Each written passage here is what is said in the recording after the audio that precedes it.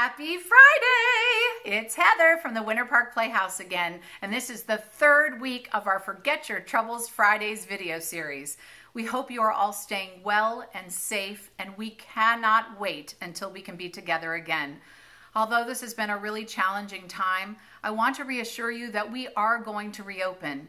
Even though we're working from home and the theater is closed, we are working diligently to make sure that when we reopen, it's safe for all of us. So, in the meantime, we're going to keep bringing you joyful entertainment each week.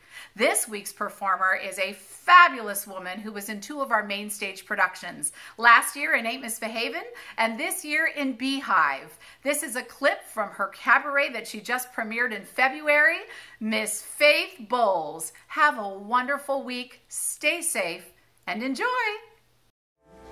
Mama, I don't have time for dancing is gonna have to wait a while. Ain't not time for messing around, and it's not my style. This old town can slow you down. People take the easy way, but I know exactly.